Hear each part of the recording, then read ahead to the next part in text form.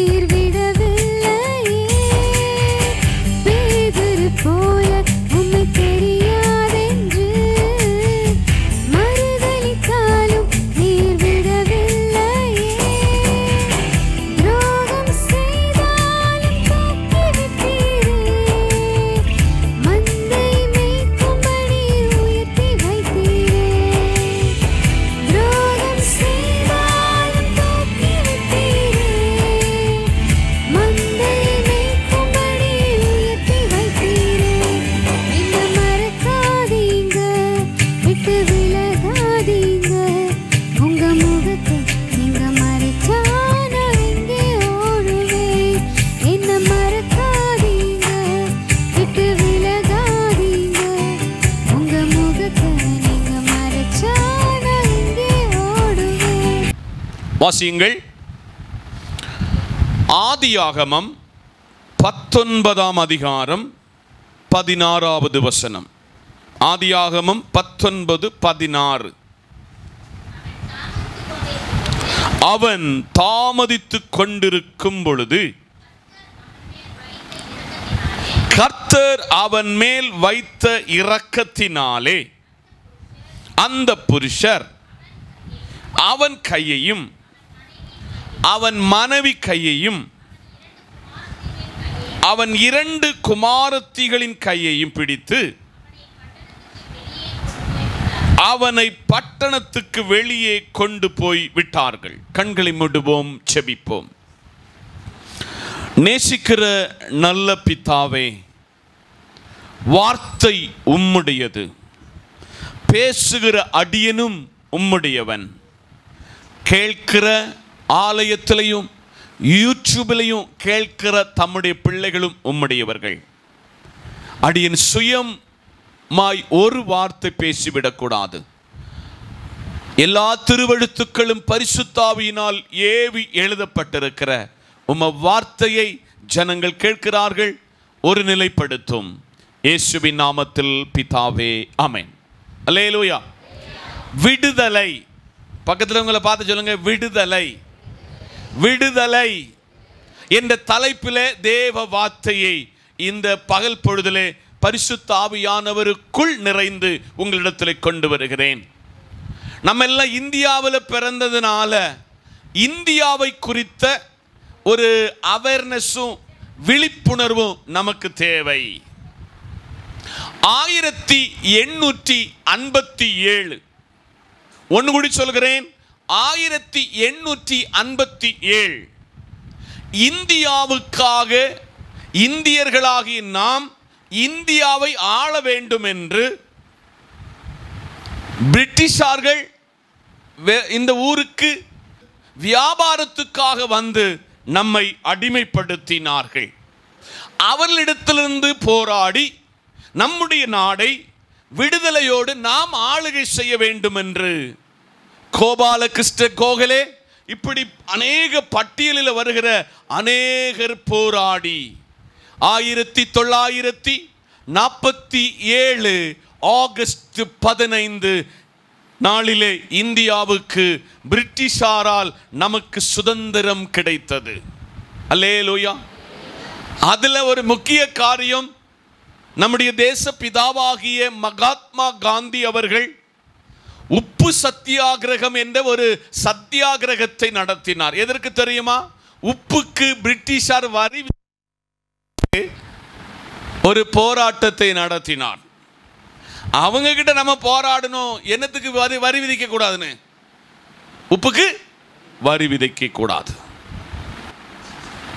சுதந்திரம் எதற்காக போராடினமோ சுதந்திரம் விடுதலையற்ற நிலையில் இருக்கும் பொழுது கர்த்தர் சொல்லுகிறார் நான் உங்களை விடுதலையாக்குவேன். இன்னைக்கு மூணு நபர்களை பரிசுத்த ஆவியானவருக்குள் நிறைந்து வெளிப்படுத்தி ஜபத்தில் உங்களிடத்திலிருந்து விடைபெறப் போகிறேன். வாசித்த வசனம் உங்களுக்கு எல்லாருக்கும் நன்றாக தெரிந்த வசனம்.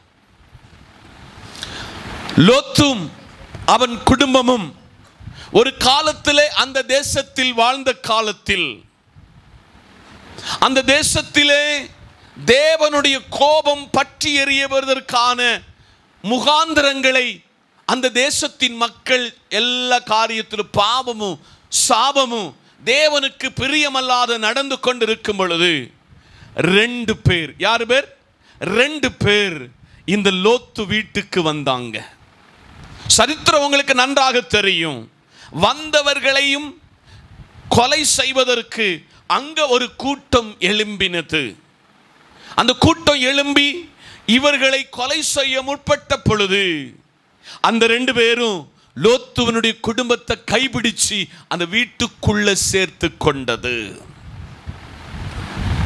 இந்த நல்ல கால வேளையிலே அப்படி கை சேர்த்து கொண்டிருக்கும் பொழுது அவர்கள் பக்கமாக இருக்கும் பொழுது லோத்துவோடு தேவனாகிய கர்த்தர் பேசின ஒரு காரியத்தை தான் நாம் இன்னைக்கு வாசித்தோம். அவன் தாமதித்து கொண்டிருக்கிறான். ஏன் தாமதித்து கொண்டிருக்கிறோம்னா அந்த வீடையும் அந்த அட்மாஸ்பியரையும் விட்டு வருவதற்கு லோத்துவுக்கும் மனைவிக்கும் பிள்ளைக்கும் என்னது கிடையாது? மனசில்ல. இந்த காலையிலே நீங்களும் நானும் ஒரு காலத்தில் தெய்வம் இல்லாதவர்களாய் ஒரு காலத்தில் நானே ராஜா நானே மந்திரின்னு சொல்லி வாழ்ந்த உங்களை ஆண்டவர் அழைத்து வேப்பிரித்து இந்த நாலு சுவர் உள்ள தேவாலயத்தில் கொண்டு வந்தார். இன்னைக்கு காலையில் அவர்கள் இடத்துல இந்த தேவ மனுஷன் சொன்னாரு நான் அல்லது தேவன் இந்த பட்டணத்தை அழிக்க போகிறார். ஆதலால் உங்களுக்கு எதிரே ஒரு மலை இருக்கிறது. அங்கே ஓடி நீங்கள் தப்பித்துக் கொள்ளுங்கள். அப்போ அவங்கள தேவன் சொன்ன பொழுது அவங்க கத்தர்கிட்ட ஒரு ரிக்வெஸ்ட் வைக்கிறாங்க பாருங்க. தேவன் எவ்வளவு பெரியவர் சேரக்கூடாத ஒளியிலே வாசம் பண்ணுகிறவர். அவர் அல்பாவும் ஒமேகாவுமானவர். வானம் உண்டாக கடவுது என்று சொன்ன நேரத்தில் வானாதி வானங்கள் உண்டாயிற்று. அவங்க வேண்டுகோளை பரிசீலிக்கிறாரு. அல்லேலூயா சொல்லுங்க. அல்லேலூயா. இன்னைக்கு காலையில தேவன் உங்களையும் என்னையும் சில இடத்துல தெளிவாக திட்டம் போட்டு பேச சொல்ல ஆண்டவர்கிட்ட ஆண்டவரே இந்த கொஞ்சம் என்னை மன்னிச்சிருங்க ஆண்டவரே. எனக்கு இப்படி கொஞ்சம் மனசில் ஆசைப்படுது ஆண்டவர்னு சொன்னால் அதை கன்சல்ட் பண்ணி அதை செய்கிற ஆண்டவர். கரங்களை தட்டி. இப்ப அவன் சொல்லுதான் நாங்கள் அந்த மலைக்கு போகக்கூடிய நேரம் ஆக கொஞ்சம் கஷ்டம். நாங்கள் இந்த பக்கத்து ஊரில் கொஞ்சம் போய் அந்த ஊரில் போய் இருந்துக்கிடுதோம்னு சொல்லி இருக்கும் பொழுது கர்த்தர் அதையும் கேட்டார். அல்லேலூயா. கேட்டவர் மாத்திரமல்ல இந்த லோத்து லோத்துக்குள்ள மனைவி லோத்துக்குள்ள பிள்ளைகளை கரம் பிடித்தார். ஆமென் சொல்லுங்க. இந்த காலையிலே தேவ பிள்ளையே சில நெருக்கமான சில கஷ்டமான சில உபத்திரவமான வழிகளில் நீங்களும் நானும் போய்க்கொண்டிருக்கும் பொழுது என்னால் முடியல ஆண்டவரை. ஒன்று ஒன்று கொருந்திரின் புஸ்தகத்தில் கத்த சொல்ல மனுஷ சகிக்கக்கூடிய சோதனை அல்லாமல் அவன் திராணிக்கு மேலே நான் அவனை சோதிப்பது இல்லை என்று ஆண்டவர் சொல்லி அவங்கள கரம் பிடிச்சு அந்த பக்கத்து ஊரில் கொண்டு போனாரு. எல்லாரும் ரெடியாய் போய் கொண்டிருக்கும் பொழுது லோத்து மனைவி பின்னிட்டு பார்த்தாள். அவங்கள கொண்டு போக சொல்றாரு. நீனு இந்த ஊர்ல இருந்து உன்னை நாங்க கொண்டு போக சொல்ல நீ பின்னிட்டு பார்க்க கூடாது. நீ வழி விலகி கூடாது என்று கத்த சொன்னாரு. ஆனா லோத்துவும் பிள்ளைகளும் கேட்டாங்க தப்பிச்சுக்கிட்டாங்க. ஆனால் லோத்துவினுடைய மனைவி பின்னிட்டு பார்த்தாள். அவள் உப்பு தூணாய் இன்றைக்கும் நிற்கிறாள். இன்னைக்கு காலையில் நல்ல ஆராதனை நல்ல வர்ஷிப் நல்ல பாடல் நல்ல காணிக்கைகள் எல்லாம் கத்தருக்கு கொடுத்தோம். ரொம்ப சந்தோஷம். இன்னைக்கு காலையில் உங்களுக்கு ஒரு விடுதலை வேணுமா? உங்களுக்கு ஒரு சமாதானமான ஒரு பீஸ்ஃபுல்லான லைஃப் வேணுமா? இன்னைக்கு காலையில் உங்களை பார்த்து என்ன பார்த்து கத்து சொல்றாரு நீ பின்னிட்டு பார்க்காதே. நீ பின்னிட்டு பார்க்காதே. இன்னைக்கு ஒரு பாடலை பானோம் இயேசுவின் பின்னால் நான் போக துணிந்தேன். பின்னோக்கே நான். நாட் டேர்னிங் பேக் நான் பின்னோக்கேன் என்று பாடினோமே. எங்கெல்லாம் நம்ம பின்னோக்கினோம்? வாயினால கண்ணுனால சிந்தனையினால செயல்களினால நம்ம பின்னிட்டு பார்த்ததுனால நாம் ஒருவனுடைய கூண்டுக்குள் அடைக்கப்பட்டிருக்கிறோம். அந்த கூண்ல வெளியே வருவதற்கு ஆண்டவர் லோத்துவனுடைய கரத்தை பிடிச்சது போல லோத்துவின் மனைவியினுடைய கையை பிடிச்சது போல லோத்துவனுடைய பிள்ளைகளை பிடித்தது போல கத்த பிடிக்க விரும்புகிறார். கத்தருக்கு கரங்களில் பிடிப்பதற்கு நான் பின்னிட்டு பார்க்காதபடிக்கு கத்தரோடு சஞ்சரிக்க கத்தர் இந்த ஆண்டின் இறுதி காலத்தில் சபையை படிப்பிக்கிறார். அவங்க போன மாத்திரத்தில் லோத்து மனைவி உப்பு தூணானாலும் ஆனால் சோதோம் கொமோரா பட்டணத்தை தேவன் அக்கினிக்கு இரையாக்கினார். நீங்களும் நானும் வாழ்கிற நீங்களும் நானும் வசிக்கிற இந்த ஊரை பூமி அதிர்ச்சியினாலும் வெள்ளப்பெருக்கினாலும் இயற்கையினுடைய சீற்றத்தினாலும் அழிக்காதபடி ஏன் பாதுகாத்து வைத்திருக்கிறார் என்றால் நீங்களும் நானும் அக்கறைக்கு அல்லையிலோயா அக்கறைக்கு தேவனுடைய சமூகத்தில் நல்ல கோதுமை மணியாக அக்கறைக்கு போக வேண்டும் என்று ஆண்டவர் விரும்பி வைத்திருக்கிறார். ஒன்று என்னையும் உங்களையும் ஒரு அருமையான லோத்துவனுடைய குடும்பத்தை போல விடுவிக்க ஆ- ஆசைப்படுகிறார் கத்தர் விடுதலைக்கு அவர் கரத்தில் நம்மை ஒப்பு கொடுக்கலாமா நாம செய்து வருகிற அந்தரங்கமாகவும் வெளியரங்கமாகவும் செய்து வருகிற பாபத்திலிருந்து வெளியில வந்து ஒரு விடுதலையோடு தேவனை ஆராதிக்கலாமா என்று சேனைகளின் தேவனாகிய தேவன் நம்மோடு கூட சொல்லுகிறார் ஏற்றெடுத்தால் உங்களுக்கு அது ஆசீர்வாதம். இன்றைக்கு காலையில் ஒரு மனித சப்தத்தை அல்ல நீங்கள் கேட்க வந்தது. நீங்கள் கேட்க வந்த சத்தியம் பரலோகத்தின் தேவன் தேனிலும் தெளித்தெனிலும் மதுரமான களங்கமில்லாத ஞானப்பால் ஔஷதம் மாகிய இறைச்சிய நீங்க உண்ண வந்திருக்கிறீங்க. அதனால் கத்தர் சொல்கிறான் நான் இந்த லோத்துவையும் குடும்பத்தையும் விடுவித்தது உண்மை. அந்த விடுவித்து கொண்டு வந்த தேசத்தை இல்லாம ஆக்குனது உண்மை. நீ இருக்கிற இடத்த நான் ஒன்றும் இல்லாமல் ஆக்க விரும்பலை. உன் இருக்கிற இடத்த உன்னை கனம் பண்ண ஆசைப்படுகிறேன். ஆனால் உன்கிட்ட நான் கேட்குறது நீ எனக்கு கொடுக்க வேண்டியது. அல்லேலூயா. உங்குள்ள நல்ல சுபாவம். உன்னுடைய பாவ பழக்க வழக்கங்களை விட்டு என் கூட சஞ்சரித்தால். லோத்துவனுடைய குடும்பத்தை விடுவித்தது போல உன்னுடைய குடும்பத்தை என் குடும்பத்தை ஆண்டவர் விடுவிப்பார் என்று ஆவியானவர் சொல்லுகிறான். வாசிக்கலாம். தானியலின் புத்தகம். ஆறாம் அதிகாரம். அதனுடைய இருபத்தி இரண்டாம் வசனத்தை ஒருவருக்கு வாசிக்கலாமே. தானியல் ஆறு இருபத்தி இரண்டு.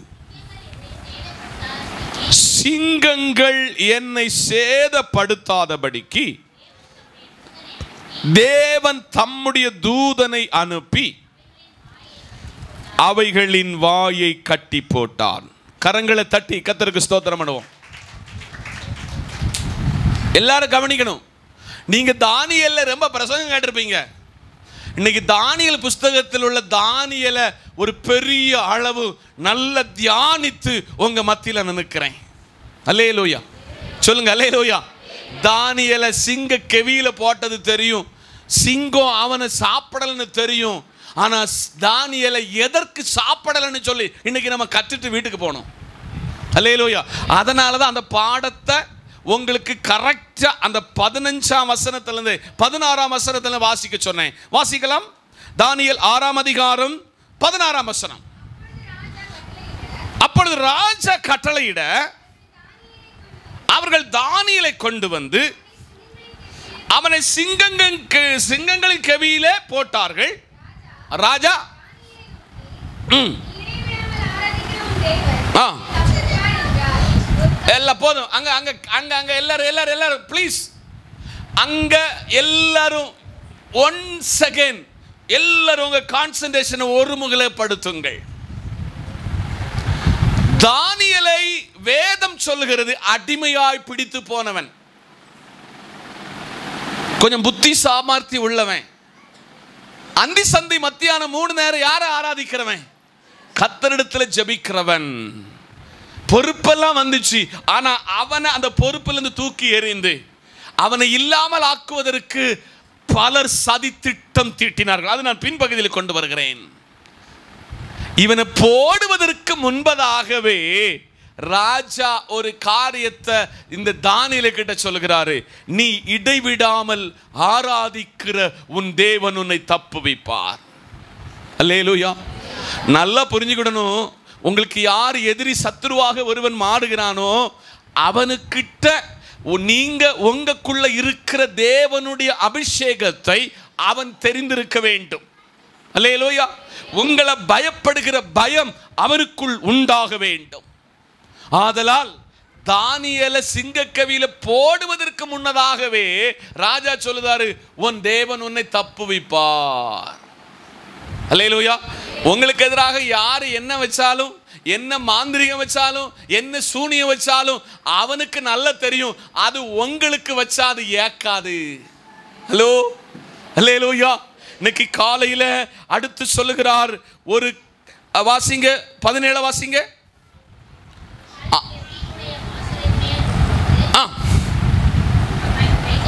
வைக்கப்பட்டது. ஆ. ஆ. அதன் மேல். எல்லாரும் பார்க்கணும். இந்த முத்திரை போட்டாச்சுன்னா ஜோலி முடிஞ்சு. அதுக்கு மேலே என்னது இல்லை சுப்ரீம் கோர்ட்டு நம்ம நாட்டில் ஒரு தீர்ப்பு வழங்கியாச்சுன்னா அதுக்கு மேலே ஒரு கோர்ட் இல்லை. அல்லேலூயா. அடுத்து ஒரு கன்சர்டு யாருக்கிட்டனா நம்முடைய இந்தியாவினுடைய ஒன்றாவது நபராக இருக்கிற ஜனாதிபதி கிட்ட ஒரு கடிதம் கொடுக்கலாம். அவரும் கையை விரிச்சிட்டாருன்னா ஒன்றுமே இல்லை அவ்வளோதான் இப்போ ராஜா முத்திரத்தில் ஒன்று என்ன செய்துட்டாராம்? சொல்லுங்க. முத்திரத்தில் என்ன செய்தார்? முத்தம் செய்துட்டாரு முடிஞ்சு போச்சு. இப்போ தானியல பதினெட்டாம் வசனத்தில் வாசிக்க சொல்ல பின்பு ராஜா தன் அரண்மனைக்கு போய் ரா முழுவதும் போஜனம் பானம் பண்ணி பண்ணாமலும். ஆ கீழே வாசிங்க. கீத வாக்கியங்கள் முதலானவைகளை தனக்கு முன்பாக வரமுட்டாமலும் இருந்தான். அவனுக்கு என்ன வரல? நித்திர வராமல் போயிட்டு கத்தருடைய பிள்ளையை எவன் ஒருத்தன் தொடுதானோ அவனுக்கு என்ன வராது?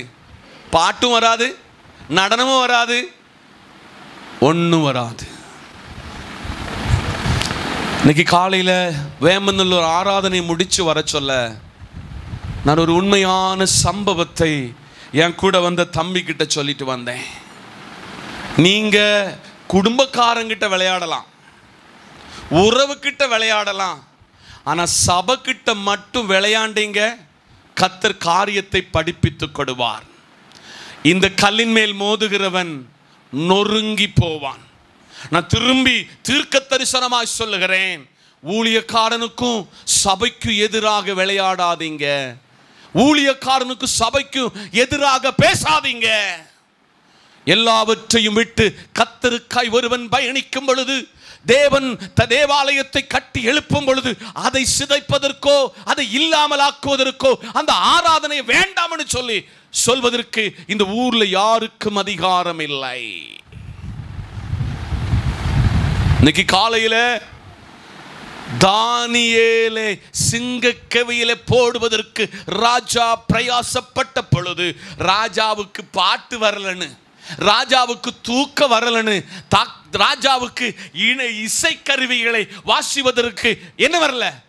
மனது வரவில்லை. அல்லேலூயா. இப்போ இருபதாம் வசனத்தை வாசிக்க பார்ப்போம்.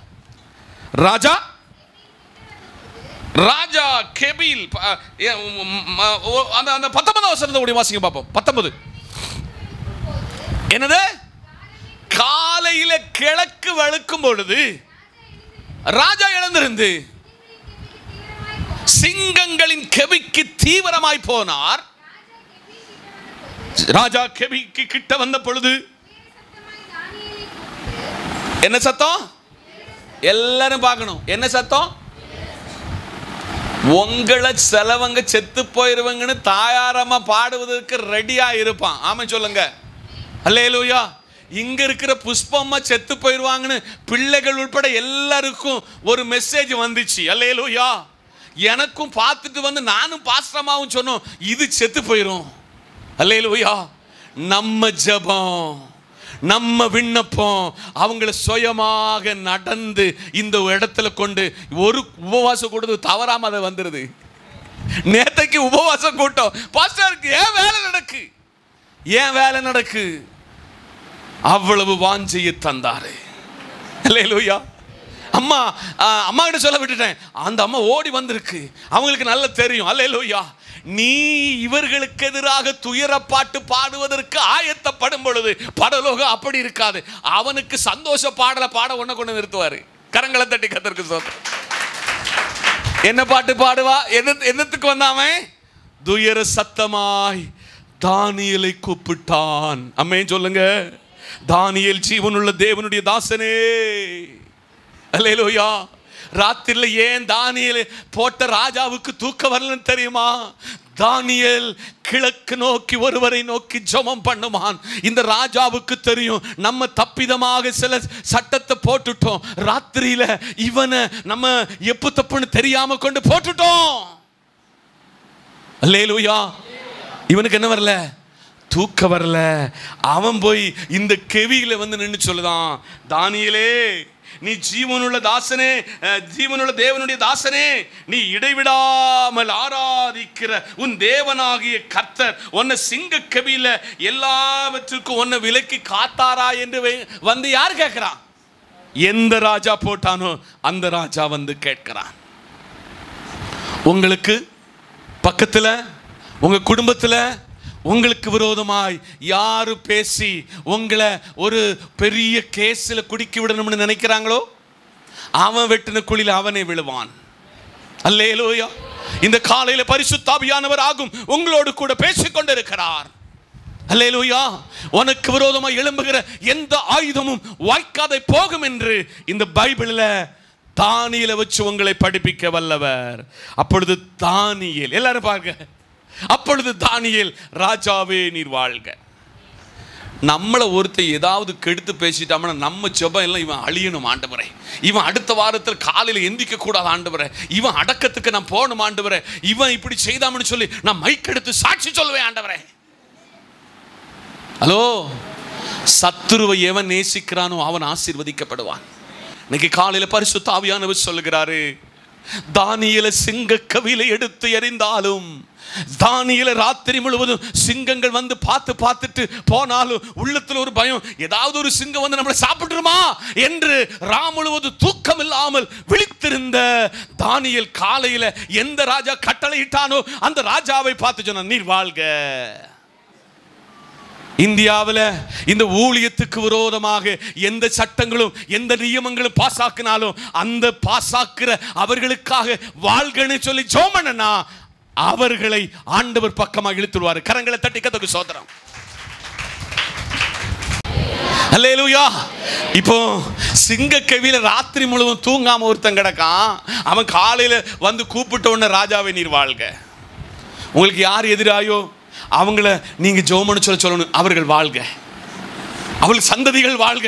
அவள் குடும்பங்கள் வாழ்கன்னு சொல்லுங்க அவங்க உங்களுக்கு நண்பன் ஆயிடுவான் அல்லேலூயா அல்லேலூயா இது வேத பிரமாணம் ஐயா கீழே வாசிங்க. வாசிங்க. அப்பொழுது தானியேல். ஆ. ஆ. போதும். ஹலோ. தானியலுக்குள்ள ஒரு பெரிய ஃபெய்த் அங்க வெளிப்படுத்தார். ராஜாவை நான் ஒரு பெரியனும் நீதிமானும் யோகியனும் பெரிய ஆள் ஒன்றும் இல்லை. நான் மூணு நேரம் ஜோம் பண்ணிக்கிட்டு இருந்தத பரலோகம் கண்டு இவனை கெவியில் போட போகிறோம்னு அறிந்து என்ன ஜீவனோடு வைக்கணும்? இந்த பூமியில் கொஞ்ச நாள் நான் கத்தருக்காக வாழணும் கத்தருக்காக ஜெபிக்கணும்னு சொல்லி தூதனை அவர் அனுப்பிட்டாரு. அவன் இந்த செல்ல சிங்கக்குள்ள வாயை என்ன செய்தான்? கட்டி போட்டுட்டான். அவன் எனக்கு காவலா நினைக்கனால என்ன இந்த சிங்கம் என்னை அட்டாக் பண்ண முடியல. இன்னைக்கு காலையில தீர்க்க தரிசனமா சொல்லுகிறேன் உங்களுக்கு எதிராக எந்த இடத்துல அம்புகள் ஆயுதங்கள் வருகிறதோ நீ ஜபிக்கிறவனாக நீ பரிசுத்தம் உள்ளவனாக தேவனுக்கு பெரியமுள்ளவனாக இருந்தால் உன் பக்கத்தில் தூதன் உண்டுன்னு. அல்லையிலோயா நான் அங்கேயும் சொன்ன இங்கே சொல்லுகிறேன். இந்த இருபத்தி மூன்றரை ஆண்டு காலம் எனக்கு எதிராக பல ஆயுதங்கள் அம்புகள் வந்த பொழுதும் நான் இடைவிடாமல் ஆராதிக்கிற தானியலுடைய தெய்வம் அவனுக்கு எப்படி தூதன் அனுப்பினாரோ அதே தூதனை எனக்கு அனுப்பி இந்நாள் வர சத்ருவினுடைய கையில சிங்க கவியில விழாதபடிக்கு என்னை பத்திரப்படுத்தினார். கரங்களை தட்டி கத்தருக்கு ஸ்தோத்திரம். அவன் சொல்லிட்டு கீழே வாரான் பாருங்க வாசிங்க பார்ப்போம் சிங்கங்கள் சேதப்படுத்தாதபடி தேவன் தம்முடைய தூதனை அனுப்பினார். அவைகளின் வாயை கட்டுனாரு. உங்களுக்கு எதிராக யாரெல்லாம் எதிர்வாய் பேசுறாங்களோ அவங்க வாய் கட்டப்படும் என்று சொல்லி நான் விசுவாசிக்கிறேன். அல்லேலூயா. அல்லேலூயா. அல்லேலூயா. இந்த காலையில் பரிசுத்தாவியானவர் சொல்லுகிறாரு உனக்கு எதிராக யார் வா பேசுதானோ அவன் வாய் அடைக்கப்படும். நான் சொல்லலை பைபிள் சொல்லுது. அலேலுயா கர்த்த சிங்கத்தின் வாயை கட்டினார். அடுத்தது. ம். அது என்னவென்றால் இதுதான் என் வாழ்க்கை.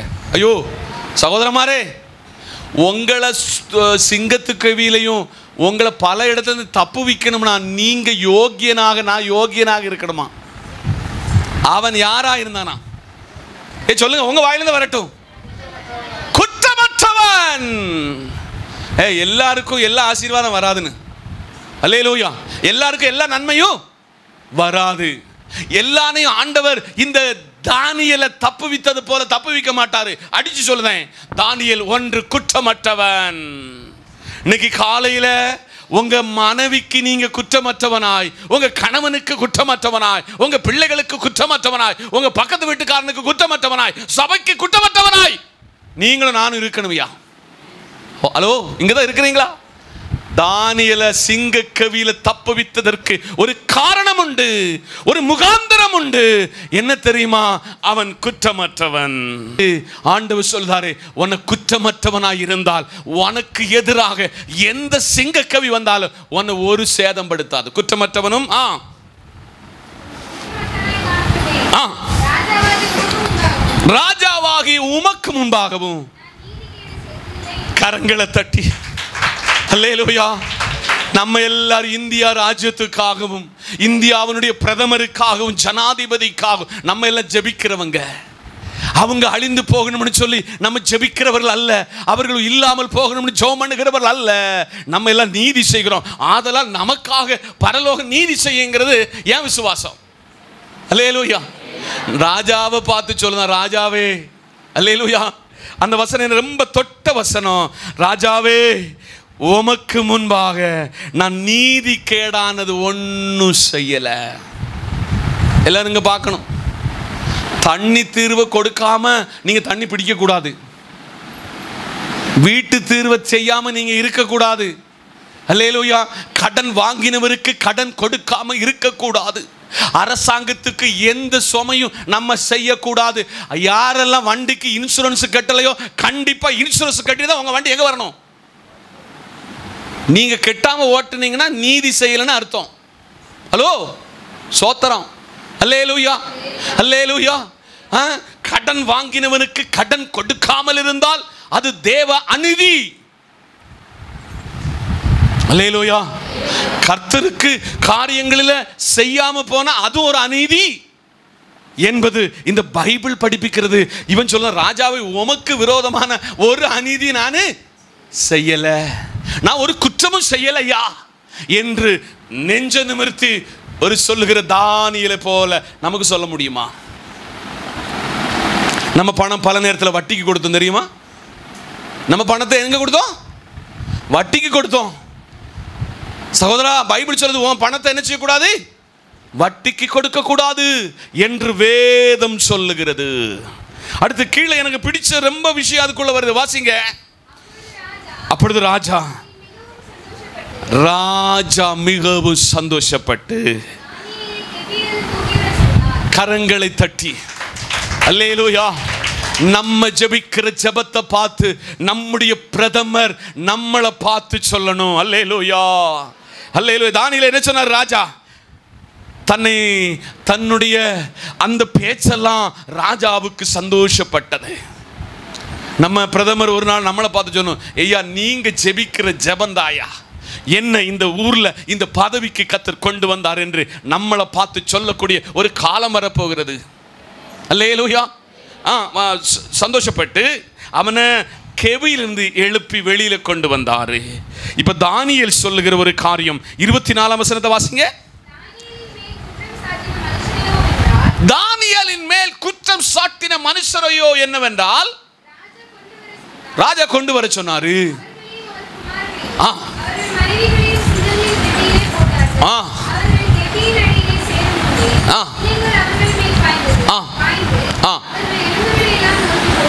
எல்லாரும் பார்க்கணும். நம்ம எந்த குழி வெட்டுகிறோமோ அந்த குழி நமக்குன்னு மறந்துடக்கூடாது. ஹலோ? ஹலோ? அது வாயினால கெட்டின குழி கையினால் கெட்டின குழி ஆ, கா- காலுனால வெட்டின குழி அது நமக்குன்னு மறக்கக்கூடாது. ராஜாவை தவறுதலாக இவனை உள்ள போடுவதற்கு சதித்திட்டம் பண்ணின மனுஷன் மனைவி பிள்ளைகள். இப்போ எங்கே வராங்க? சிங்கக்கவியில் வாராங்கயா ஒரு நாள் ராத்திரி முழுவதும் தானியல் இருந்த ஸ்தானத்தில் சிங்கங்கள் அவனை ஒன்றும் செய்ய முடியாமல் போனாலும் எவன் எதிராளியாக அவர்களுக்கு செயல்பட்டானோ அவங்க கீழே கூடி விழலையா? அவங்க தரையில் கூட விழலை. சிங்கம் கவி அப்படி சிங்கம் வாயை பிடிச்சி அதை கவி எலும்பு தான் கீழே விழுந்துச்சு. அலையிலுயா அறிந்தோ அறியாமலோ சகோதரனுக்கு விரோதமா பேசாதங்க. உங்க கூட பிறந்தவங்க மாத்திரமல்ல சகோதரன் உங்களோட பழகினவங்க உங்களுடைய நண்பர்களுக்கு நீங்கள் துரோகம் பண்ணாதீங்க.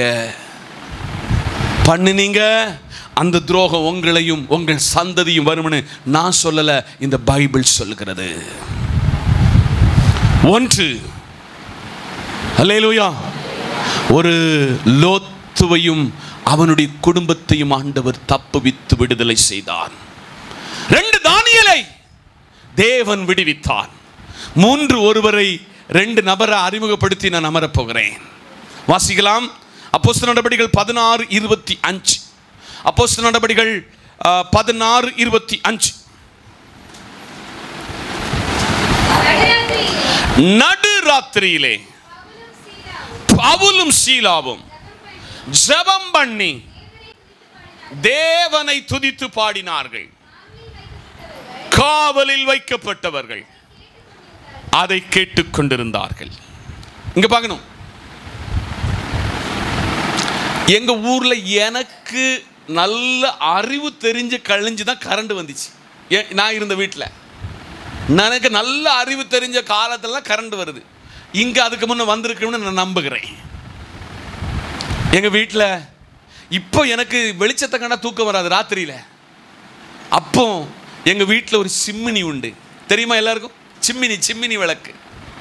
இந்த சிம்மினி விளக்கு ராத்திரி முழுவதும் வெளிச்சத்தை தரும். காலையில் மூக்கை இப்படி பிடிச்சு பார்த்தா மூக்குக்குள்ளே என்னது இருக்கும்? கறி இருக்கும். கறி கறி கறி கறி கறி. இந்த பவுலையும் சீலாவையும் இரவில் கொண்டு எங்க அடைச்சிட்டாங்க? சிறைச்சாலையில் அடைத்து விட்டார்கள். சிறைச்சாலையில் அடைத்து விட்டார்கள். சிறைச்சாலையில் அடைக்கப்பட்ட இவங்க சும்மா இருக்கலன்னு. ஆமை சொல்லுங்க. அவங்க செய்தது ரெண்டு காரியம். ஒன்று கத்தரை துதிச்சாங்க. சகோதரா சகோதரி கத்தரை ஒன்று துதிச்சா போதும். கத்தரை ஒன்று பாடினா போதும். உங்களுக்கு எங்கெல்லாம் கட்டப்பட்டு அடைக்கப்பட்டிருக்கிற எல்லா கட்டும் அடிச்சு நொறுங்கும். கரங்களை தட்டி கத்தருக்கு சோதனை பவுலும் சீலாவும் ரெண்டு காரியம் செய்தாங்க. நான் எல்லாம் இந்த காரில் எல்லாம் போச்சல தனிமையாக போச்சல எனக்கு வா விட்டு பாடி ஆராதிக்கத்தக்க ஒரு நல்ல கிருபையை தந்தார். அதிக தூரம் பிரயாணிக்கிறது நான் கத்தரோடு தான் அதிகமாக இந்த வாகனத்தில் சஞ்சரிப்பது. அதனால் கத்து சுகமாய் பத்திரமாய் ஒரு கேடு வராதபடி பத்திரப்படுத்தினார். இன்னைக்கு காலையில் சபையோடு சொல்லுகிறேன் விசுவாச குடும்பங்களோடு சொல்லுகிறேன் இந்த பவுலும் சீலாவும் இந்த ராத்திரியில் கையிலையும் காலிலையும் அடிபட்டு ரத்தம் வடிஞ்சு கொண்டிருந்தாலும் அவங்க சிறைச்சாலையிலும் கத்தரை துதித்து பாடினார்கள். எங்கு ஒருவன் துதித்து கத்தரை பாடுகிறானோ அங்கு கத்தரா இருக்கிற கிறிஸ்து அவனுக்கு விடுதலை தருவார். அவனை வெளியில கொண்டு வருவார். அவனை தேசத்தில் மற்றவங்களுக்கு முன்னாக கொண்டு நிறுத்துவார். பாருங்க இவன் துதித்து பாடின உடனே ஒருத்தன் விளக்கு எடுத்துட்டு வந்தான். அதான் நான் விளக்குக்காரி உங்களுக்கு சொன்னேன். அல்லையா புரிஞ்சுதா? புரிஞ்சுதா? புரிஞ்சுதா? ஒருத்தன் விளக்க கொண்டு வந்து பார்க்க இல்லை இங்க இங்க ரெண்டு பேர் இருந்தாங்களே ஓடி போயிட்டானோ? அவனுடைய பட்டயத்தை எடுத்து அவன் குத்தி மறிக்கிறதான சூழ்நிலை கொலை அவனையே கொலை செய்வதற்கு தானே தற்கொலை செய்வதற்கு முற்பட்ட பொழுது ஐயா சிறைச்சாலை அதிகாரியே நாங்க அப்படி திருட்டுத்தனமா ஓடுகிறவங்க அல்ல. சட்டப்படியாக எங்களை விசாரிக்காமையாகையும் எங்க கொண்டு வந்திருக்கிறீங்க? சிறைச்சாலையில கொண்டு வந்திருக்கிறீங்க. அப்பொழுது இந்த சகோதரர் சொன்ன காரியம் எஜமானன் மாறி. என்னது? ஏ கைதிய யாரா சொல்லுதான்? எஜமானன்மாரே அல்லையிலோயா ஊர் உங்களை ஒதுக்கி வச்சிடலாம். சமுதாயம் உங்களை ஒதுக்கி வச்சிடலாம். குடும்பக்காரன் உங்களை தள்ளிடலாம். நீ கத்தருக்காக உண்மையா இறங்க தெரிச்சா உன்னை பார்த்து ஒரு கும்பிடு போட. உன்கிட்ட ஆலோசனை கேட்க சிலர் ஆண்டவர் வடக்கிலும் கிழக்கிலும் தெற்கிலும் மேற்கிலும் வந்து கொண்டு வருவார். எத்தனை பேர் விசுவாசிக்கிறீங்க? அல்லையா எந்த பிரதிபலனும் எந்த ஆசீர்வாதமும் எதையும் எதிர்பார்க்காம என் சுல்கேஸை இப்போ உங்க பக்கத்தில் வச்சிருக்கிறேன். ஆண்டவர் சமூகத்தில் ஒரு சுல்கேஸோடு இந்த த- கனமான கத்தருடைய ஊழியத்துக்கு வந்த பொழுது ஆண்டவர் என்னையும் இந்த ஊர்ல அங்கீகரித்தார். அலையலூயா அலையலூயா இன்னைக்கு காலையில பவுலும் சீலாவும் எங்களை எப்படி முறைப்படி கொண்டு வரலையோ? மறுபடி இங்கிருந்து போக சொல்ல நாங்கள் முறைப்படி தான் வெளியில் போவோம். அன்னைக்கு ராத்திரியில மெய் தேவனாகிய கிறிஸ்துவை கர்த்தர் என்றும் ரட்சகர் என்றும் மீட்பர் என்றும் இந்த இந்த அருமையான பவுலும் சீலாவும் சிலைச்சார் சிறைச்சாலை அதிகாரிக்கு பிரசங்கித்த பொழுது அன்னைக்கு ராத்திரில இயேசுவை ஏற்றுக்கொண்டார்கள். அலையலோயா? அலையலோயா? அவன் குடும்பத்துக்கு மொத்தம் ஒரு ராத்திரியில் ஞானஸ்தானம். நம்ம சபையில் ஒரு ஆறு மாதம் உங்களுடைய நடக்கைகளையும் உங்கள் நடவடிக்கைகளையும் பார்த்துட்டு தான் நீங்கள் கொடுக்குற அப்ளிகேஷனில் தான் உங்களுக்கு ஞானஸ்தானம். அல்லேலூயா அங்கே ராத்திரியில் எந்த கொஸ்டினும் கிடையாது. எந்த முறுமுறுப்பும் கிடையாது. எந்த கமிட்டிக்காரங்களும் கிடையாது. யாருமே கிடையாதுயா. அங்கே பவுலும் சீலாவும் அவர்கள் இருவருக்கும் என்ன கொடுத்தாங்க? ஞானஸ்தானம் கொடுத்தார்கள். அல்லேலூயா இன்னைக்கு ஆண்டவர் உங்களை பார்த்து சொல்றாரு. நீ கத்தராயிருக்கிற இயேசு கிறிஸ்துவை. ஒருவன் சலத்தினாலும் ஆவியாலும் பரவாவிட்டால் பரலோக ராஜ்யத்துக்கு போக முடியாது. ஞானஸ்தானம் எடுத்ததுனால பரலோகத்துக்கு போக முடியாது. கடைசி வரியந்தமும் முடிவு வரியந்தமும் பரிசுத்தமாய் தேவனுக்கு பிரியமானவனாய் கடைசி வர நிலை நின்றால் மாத்திரமே பரலோகத்திற்கு போக முடியும். அதனால் இந்த சத்தத்தை கவனிக்கிற எனக்கு அன்பான தேவ பிள்ளைகளே பவுலையும் சீலாவையும் ஆண்டவராகிய கர்த்தர் ஆண்டவராகிய கிறிஸ்து ஆண்டவராகிய மீட்பர்.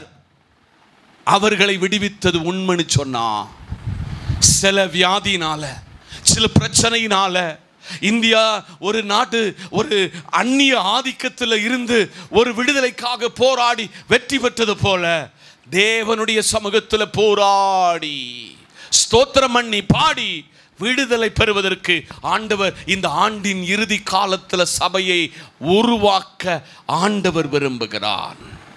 ஏற்றெடுக்க தயாரா? அங்கீகரிக்க தயாரா? அதை விட்டு கொடுக்க தயாரா? என்று ஆவியானவர் கேட்கிறார். இன்னைக்கு காலையில் ஒன்றாவது லோத்துவை விடுவித்த ஆண்டவர். இரண்டாவது தானியலை விடுவித்த ஆண்டவர். மூன்றாவது பவுலையும் சீலாவையும் விடுவித்தாண்டவர். உங்களில் எல்லாருடைய வாழ்க்கையில என்னுடைய வாழ்க்கையில சில விடுதலையை இந்த ஆண்டில இறுதியில் தர விரும்புகிறார். விடுதலை வேணுமா? விடுதலை வேணுமா? ஆண்டவர் சொல் பேச்சு கேட்டீங்கன்னா கீழ்ப்படிந்தீங்கன்னா அவரை துதித்தீங்கன்னா அவரை ஆ- பார ஆராதித்தீங்கன்னா விடுதலை உங்கள் பக்கத்தில் வரும்.